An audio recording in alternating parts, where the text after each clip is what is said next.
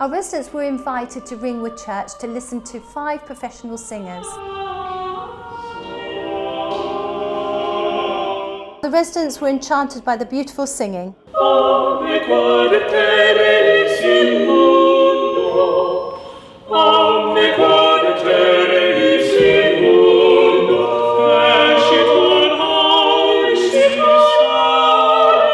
A wonderful afternoon was had by all, and myself and Sandra even managed to take a turn on stage while we were waiting for the show to begin.